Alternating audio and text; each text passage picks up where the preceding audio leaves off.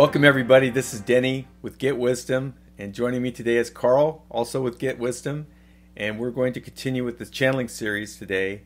And today, Karl's going to channel uh, the light being Nikola Tesla, who is uh, by far the most requested subject for the channeling series. So we finally um, got him into the lineup here, and uh, he's such an interesting subject and with so many different facets and areas of inquiry um, that we've decided to do this in two parts. Um, I just wasn't able to create a, a, reasonable list of questions that would cover all the bases. So hopefully this series of seven questions today will uh, elicit more questions that we could do in a follow-up, which will be um, fairly soon. It will we'll, we'll have the follow-up session fairly soon. Um, I have been reading a biography on uh, on him, and uh, it's just brought up so many interesting uh, things about him um, that tr- truly it would be impossible to do the subject justice just because of his impact on uh, humanity, especially in the last 150 uh, years or so. So, um, you will have seen a bio of him um, uh, prior to, to, to, Karl and I getting started here.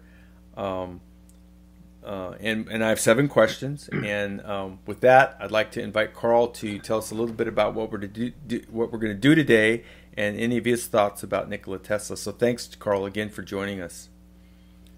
Thank you, Denny. This is uh, this is a quite exciting time, and uh, maybe too exciting, but you, you know, we we are on a on a quest here to bring forward truth about things and look at the reasons why, as well as understanding how and where and when. This leads into some dark corners if you do it in a serious, systematic way. Because in all of life, eventually you will bump into a dead end or what seems like it, or something inexplicable, or a controversy, something unexplained and there'll be an air of mystery around it, and often rumors of uh, maldoing and, and so on. And it turns out, if you spend some serious time doing this, you'll find that most of those inexplicable, mysterious things are mysterious for a reason. And they often lead to a profound truth. And that is why people just can't quite let go of it.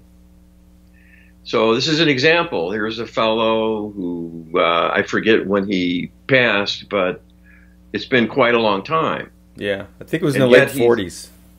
Yeah. So yeah. he and he's still very much in consciousness of, of many many people.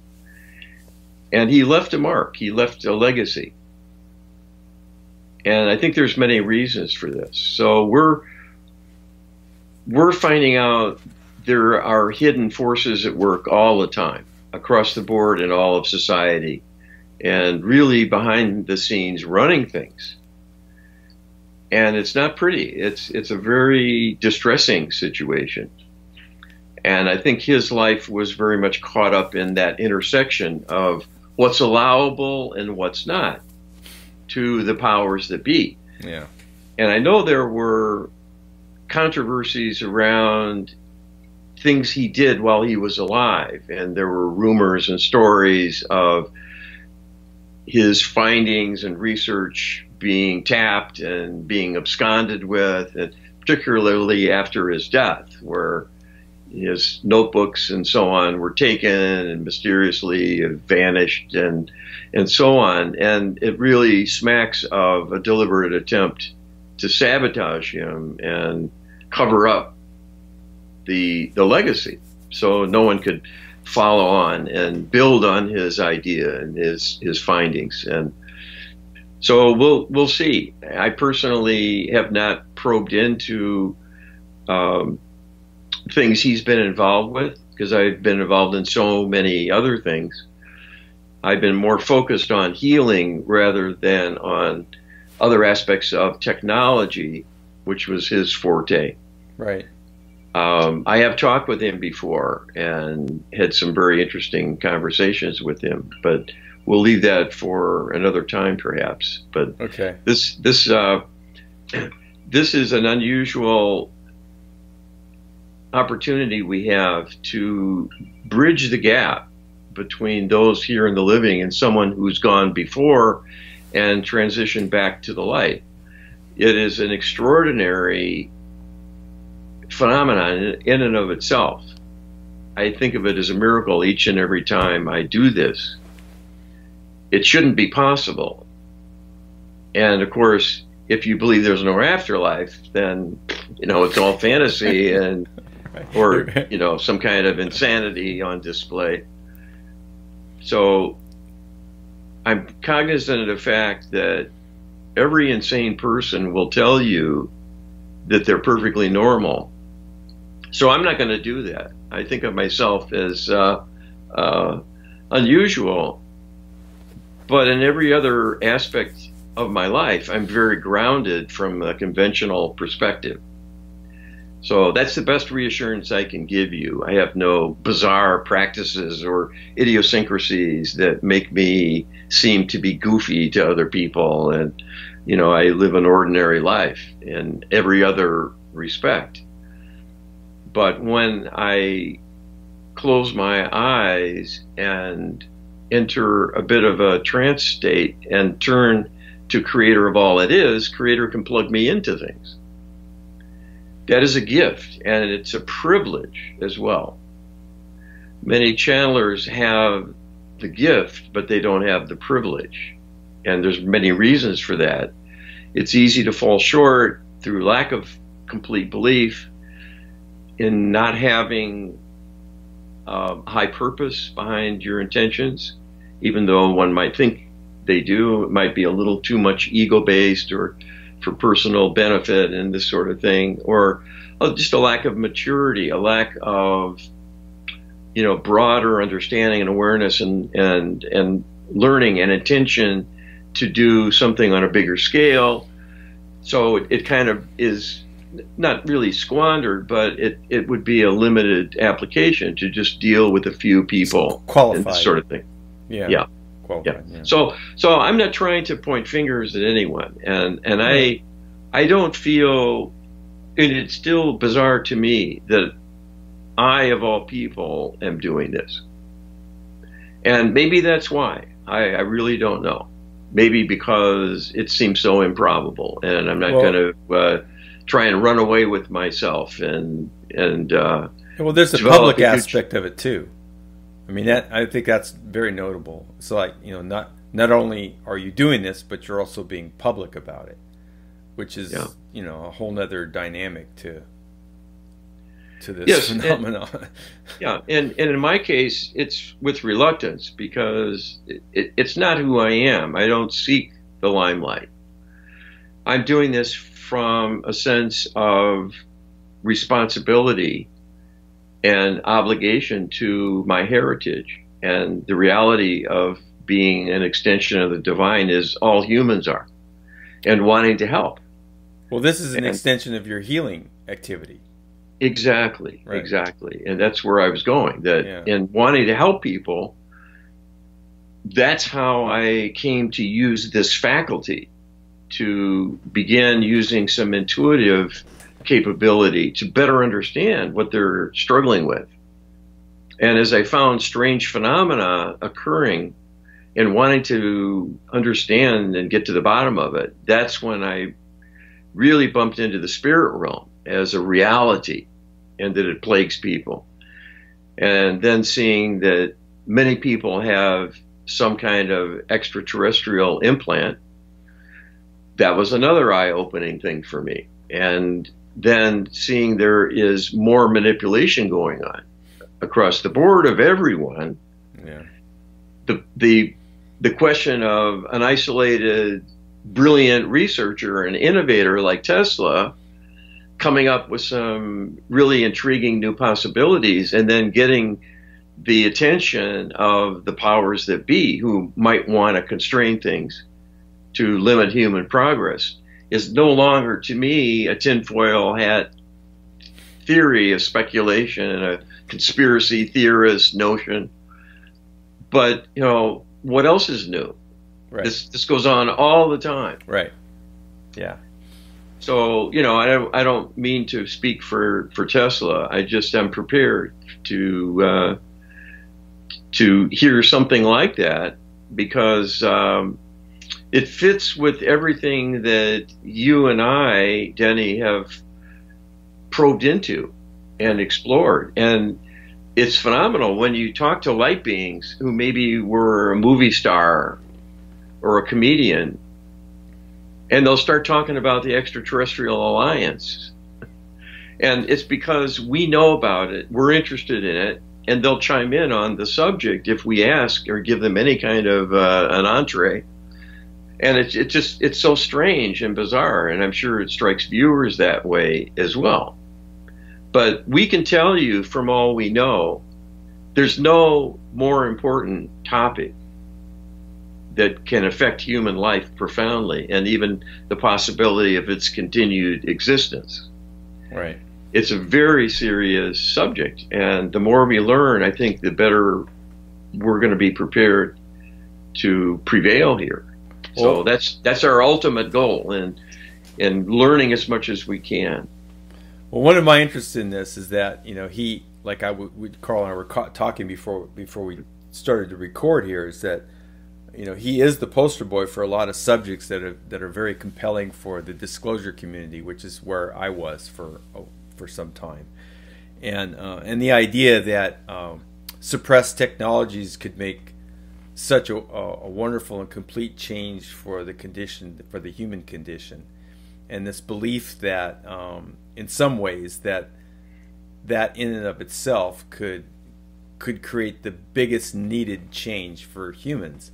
And I personally no longer believe that. I think that that there probably is a lot of suppressed technologies but the suppressed technologies being released from the government or whatever which is another can of worms that we we could get into sometime um, isn't really going to solve anything.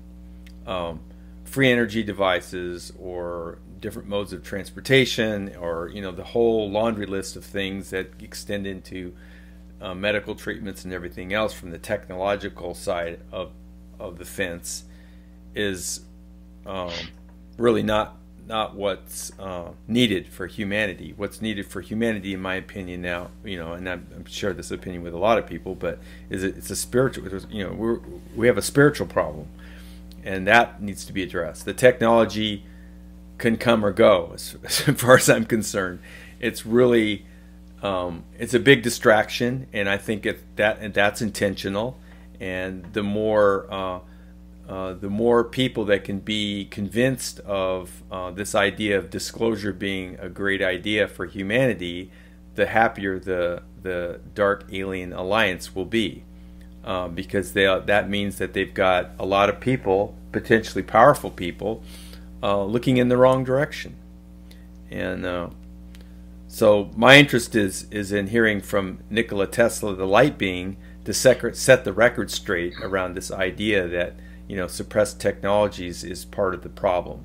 Um, it's to me, uh, I think it's a side issue, and I think he's going to. Um, my feeling is that he's probably going to verify that to some extent. Also, he um, he was working on um, some technologies that that had medical implications. He was very much involved in the whole idea of, or the whole you know development of X-ray. Um, apparently, he he was a forerunner in that. He didn't take a lot of credit for it, but uh, a lot of the stuff that he was working on led directly to the, the um, ability for people to look inside bodies with by use of X-rays, and maybe other technologies. Because at around the time that his uh, lab burned down, I think it was in uh, uh, 1895. He had a, a, laboratory that burned down. It was kind of like at the epitome of his research, and he lost a whole bunch of uh, projects that he was working on, and he had to kind of rebuild from that. And he got drawn into other avenues of research. And it was also during that time when he got a little bit more astute about withholding how he was able to do some of the things he was doing. He was pre- presenting um, warfare technology that was incomprehensible by the people that were even interested in war, allegedly. Um, it went over their heads as, as in terms of the possible use of this stuff.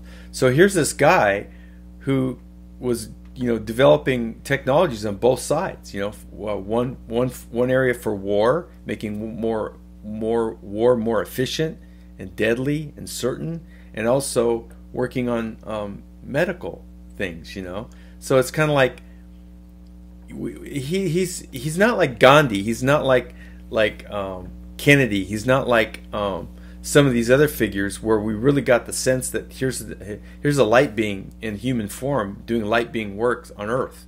You know, he's he's a bit of a, an anomalous figure in a lot of ways. Well, we'll hear what he has to say. I think I agree. This will be interesting. There are clearly people who work both sides of the fence in the course of their lives. And of course, they usually believe they're doing something to benefit at least their own nation, if not the world as a as a whole.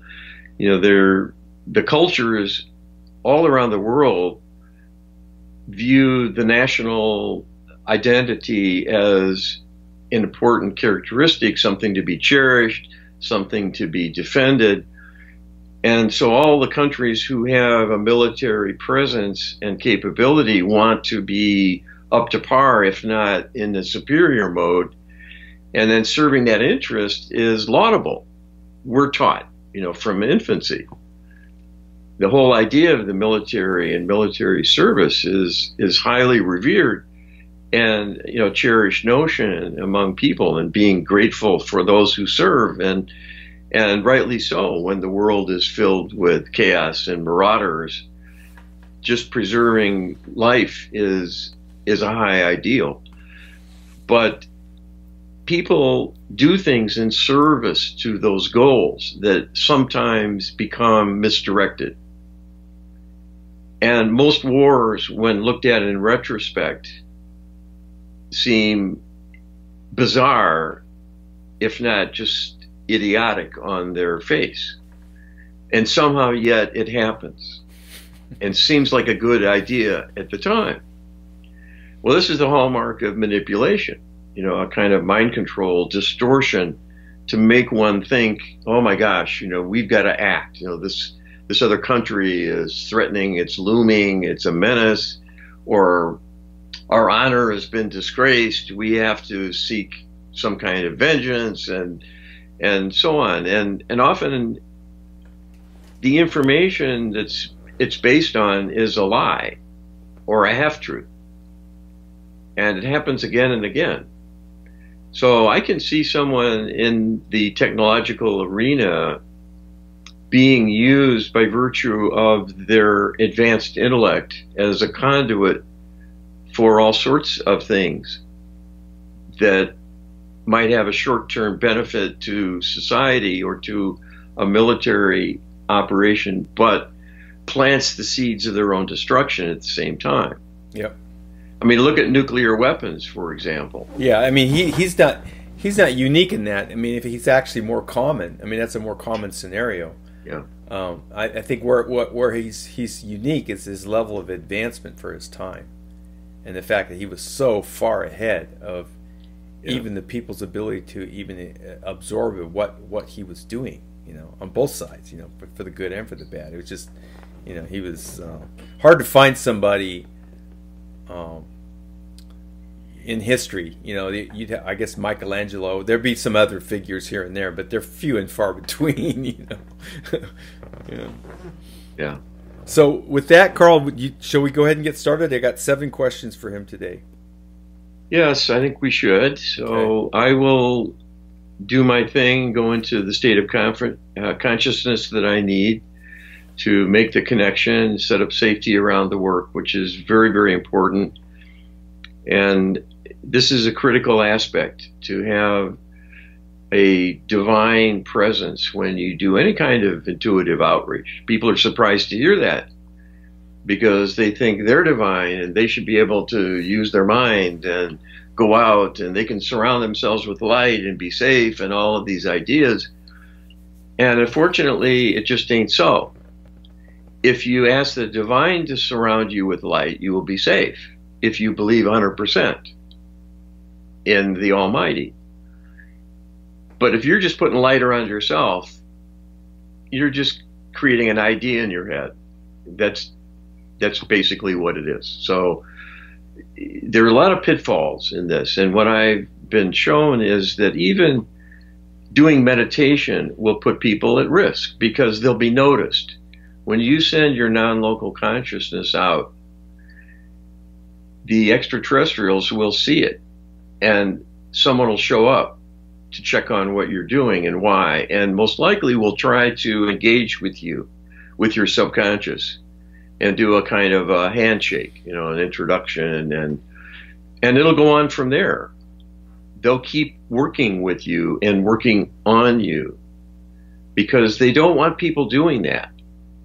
So anyone that's got some intuitive ability will come on their radar, and they'll be um, minded they'll be minded. You know, they'll be, you know, guided and shepherded into little holding pens and given some busy work to do that will seem like it's useful, but it will just be kind of co-opting their time and efforts into something that's not really any threat and won't really uh, benefit them, but they don't care about that. They just want to keep you out of their backyard and not nosing into their affairs. So, anyway, I don't mean to go on a long lecture here. So, okay. I'll go ahead and, and start, and Tesla will announce his presence when he's uh, connected to me. Okay. okay. Thanks, Karl.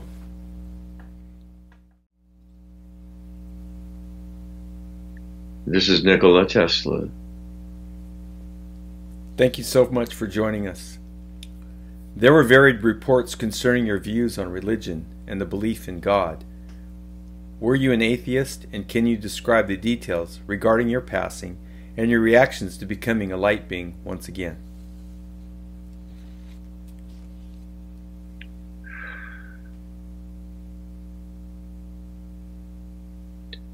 Functionally, I was an atheist. At times, I did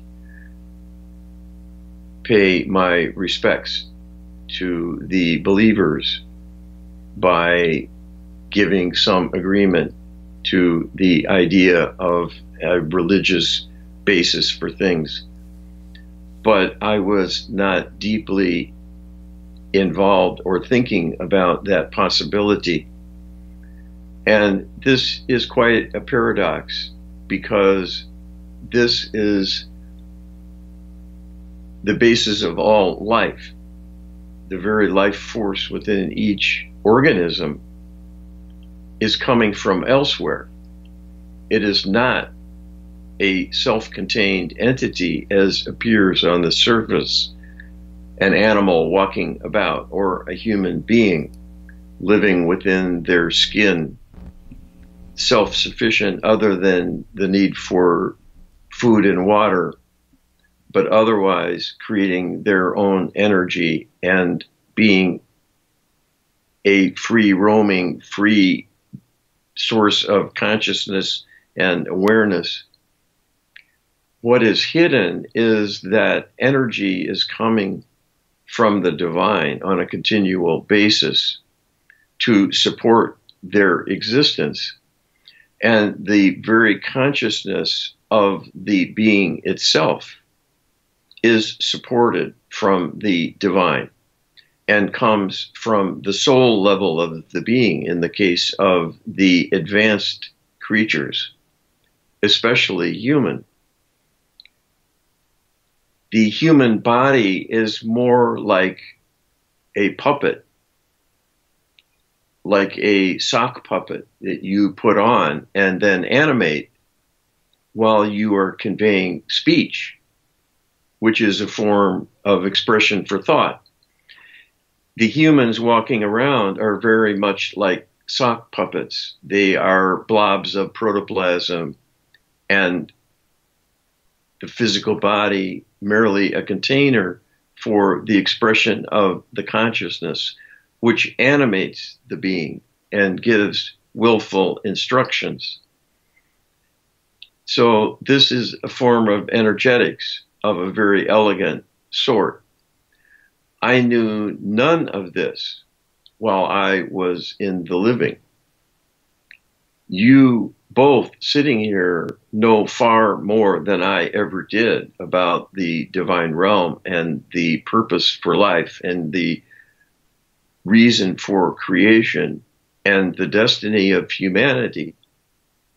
I was concerned with the scientific workings of things.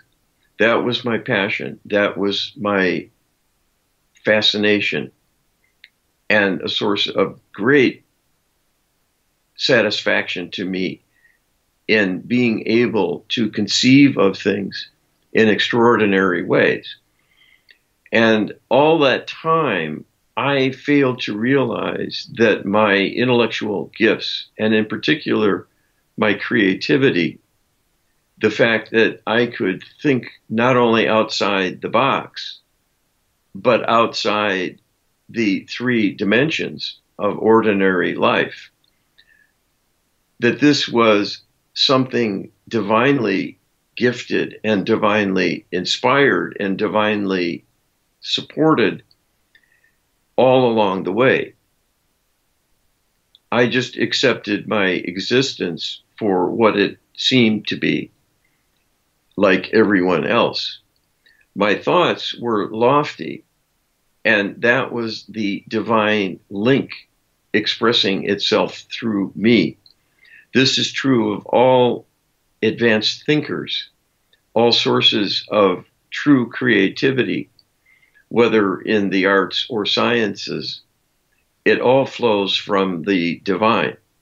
And it is in response to an inner yearning. That is how you can summon things you do not know or understand and have the idea and the very concepts supporting the idea become apparent to you within your mind. It is a kind of miracle.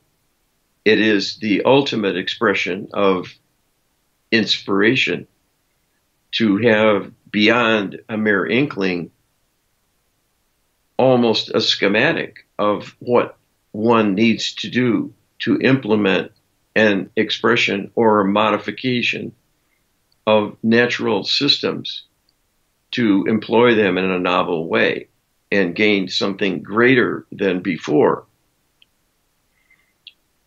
Such ideas do not come out of protoplasm.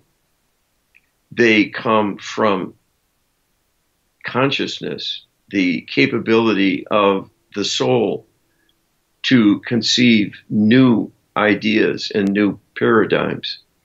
And the, the intersection and integration with other souls chiming in and adding their impressions and their perspectives can get quite an interplay going when a creative scientist looks at a problem from all angles,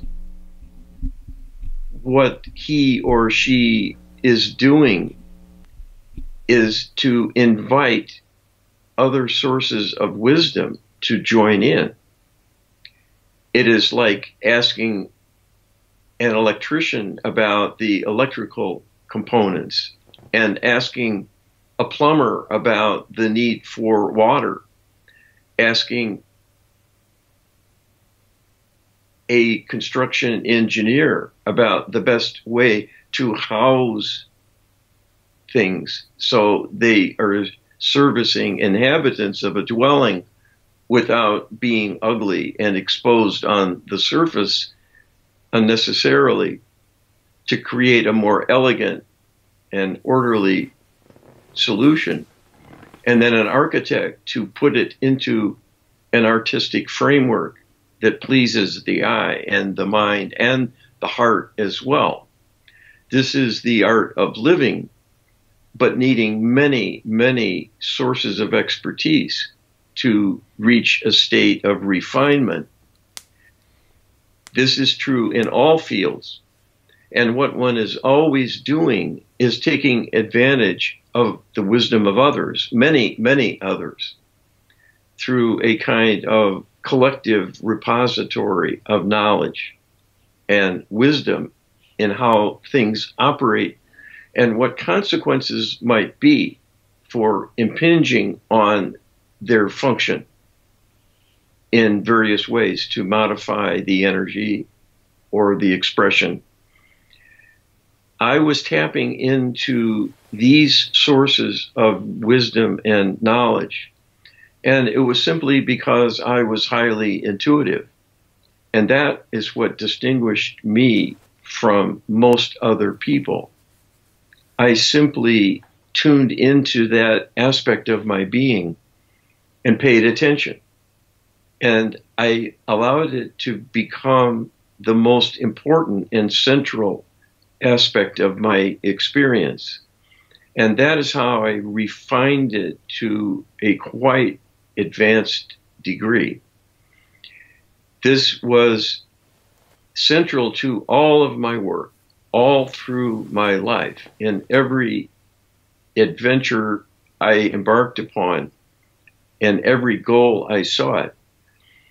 The first order of business for me was an understanding, an understanding mechanistically, so that I knew how to align the energies and create the possibility of having the energies be expressed and have a physical result that was of value and of benefit.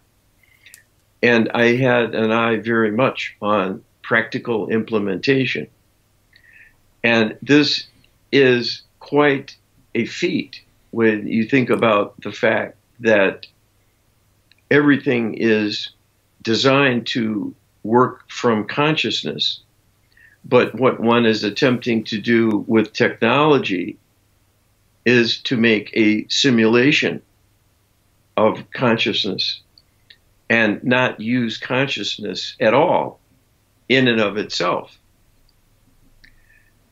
The technologies people use on an everyday basis are in and of themselves a manifestation of artificial intelligence. That is where they came from. They didn't create themselves from molecules bumping into one another.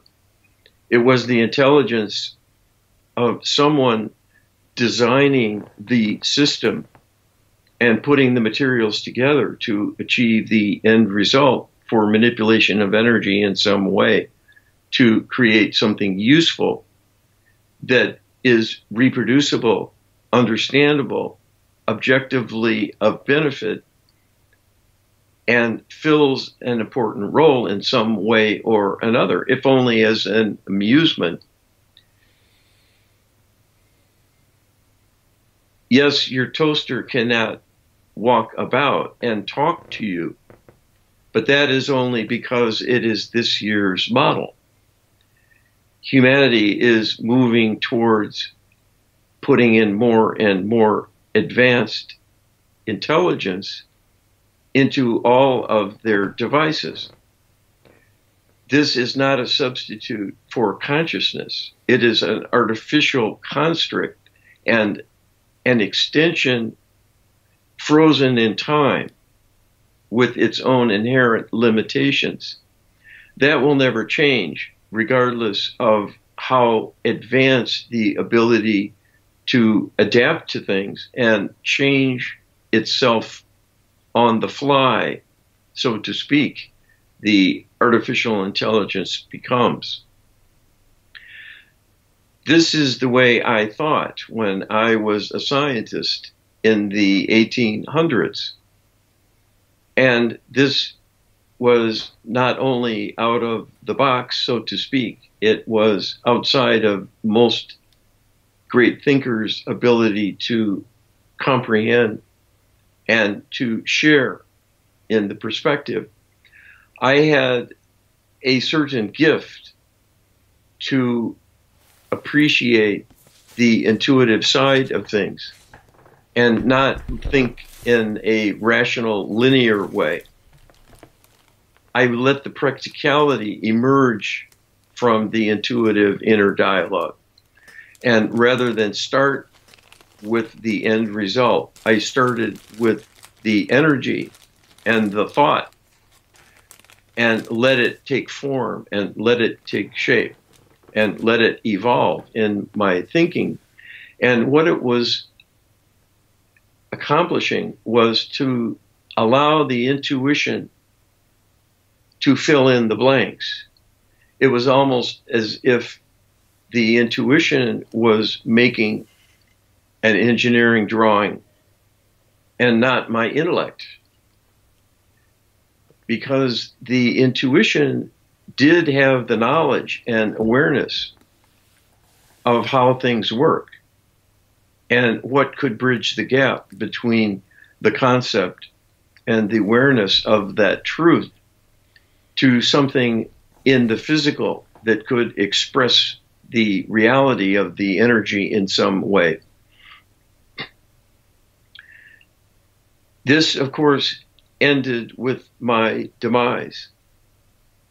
And the unfortunate thing about the ending of my life is it was engineered and orchestrated through a conspiracy to put an end to me once and for all as a potential change agent.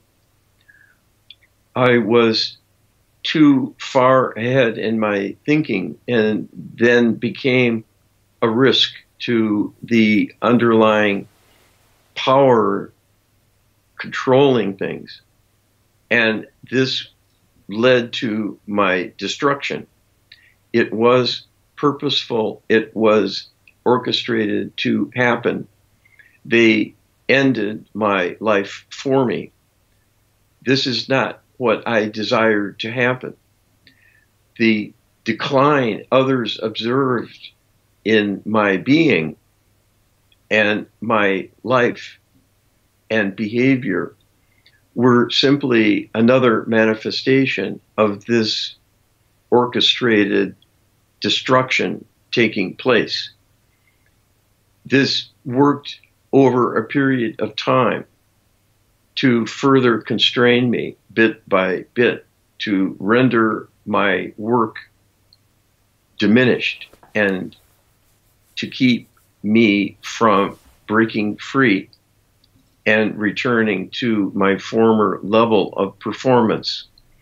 This was like a slowly tightening noose around my neck, and eventually I was gone. This was in direct response to the power in control of the world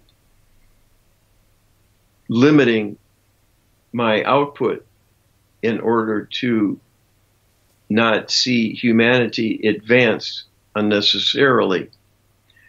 This is always an ongoing desire and a working problem for the extraterrestrial alliance behind all that happens in the world currently. they have constrained, constrained all of the human institutions to limit creativity and limit progress. And they turned in my direction a number of times during my life and created obstacles to slow things down, to misdirect things, to discredit me, to create conflicts and have support for my research withdrawn and on and on. I only perceived this as life being hard and did not see there was a grand conspiracy until things got to an extreme level.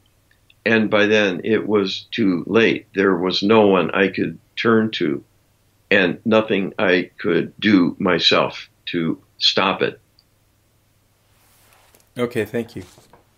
The relationships to your mother and brother, your brother who passed allegedly at the age of 12, were profound.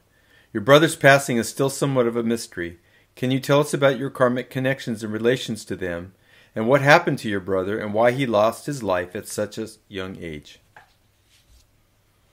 This was entirely karmic. It was karma between and among the three of us.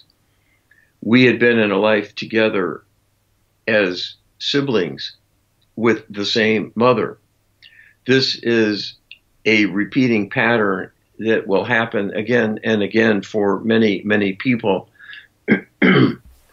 and the problem karmically for my brother was he was similarly advanced in his own way. And he was a kind of shooting star in his prior lifetime. I was the lesser light. And he, like I became later in my life, after years of productivity, he was the one who excelled and became a thorn in the side of the power structure. And he was killed this created a karmic potential for him to undergo a death well before his time. And this is what played out in the life when we came in together. He was back in the same family setting. He had the same interactions and energy and karmic interplay with both myself and our mother, it reawakened the trauma of the struggle that he faced to attempt prevailing and working against the powers that be. This set him up to be vulnerable. And one of the aspects of karma is that the recreation of the energy of the past difficulty will predispose a person to have a catastrophe of some kind. And this can include an early death. It will not necessarily match in any other respect with the details of the prior occurrence, except serve to end the life prematurely. But that is how karma works. In one life, a person might have a marriage where they abused their spouse and cause great suffering over many years. And then in a subsequent lifetime, will marry that same person, but then die of cancer and the cancer is an expression of the karmic debt to their spouse from the prior events in the previous incarnation when much harm was caused. And that negativity and pain and suffering returns to them in the new life in a quite different way. One would not connect the dots typically in making such an association. But this happens again and again and again. So his karma was being re expressed. And because he did not receive healing in a way that would work to rebalance without the energies playing out in the ultimate expression, he will remain vulnerable in the future as well. When he returns one day in a new lifetime, he will be at risk as well. This is the great harm that is done to people through acts of violence when you change a person's destiny, it is more than just the current lifetime as a potential. And this also speaks to the need for healing because that is the only way to surmount the potentials created to have the energies re echoing again and again with each new lifetime.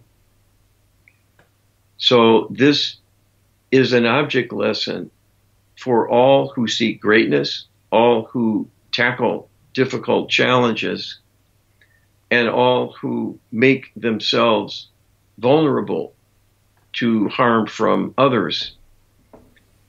The key is really a spiritual alignment so that the consequences, no matter what they are from, will eventually meet a healing solution, if not in the current life, then in a subsequent life. When I came into life and he came into life with our family unit, we were completely unaware of these dynamics and that prior history.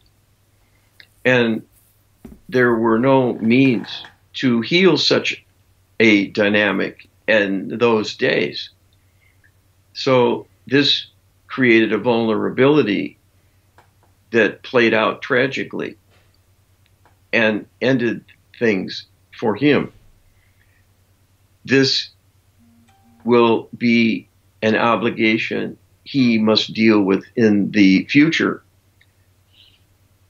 But in all likelihood, there will be greater understanding of such energies and healing of the past elements influencing people will be done routinely and in earnest with full awareness that these potential liabilities exist, much like landmines, to be stepped on and to culminate in tragedy.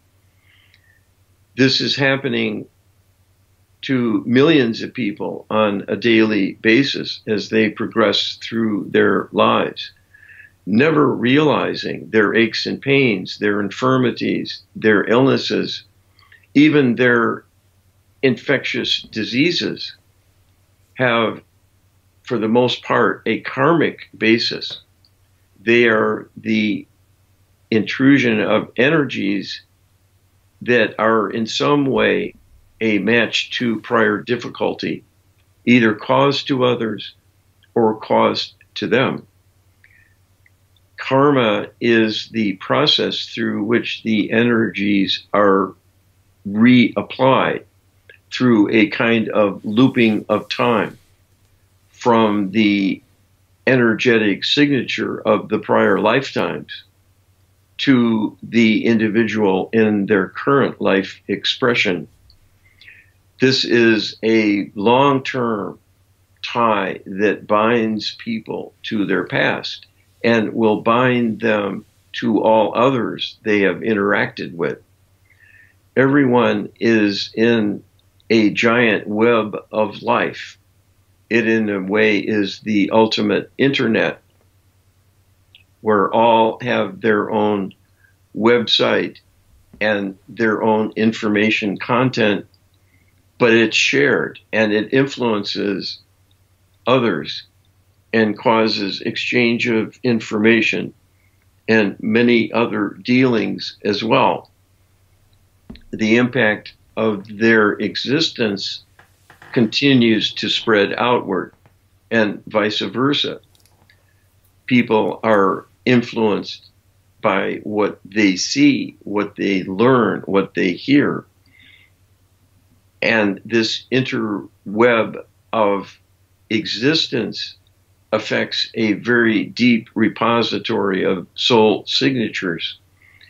In part, this is what I tapped into in much of my research to gain the collective wisdom of the science occurring not only before my time, but concurrent with my time in the physical. And that coupled with divine inspiration through a communication from higher sources, I came up with many innovations that were beyond my ability to learn in any other way. Okay, thank you. Did you have any connections to negative and or benevolent ETs during your research?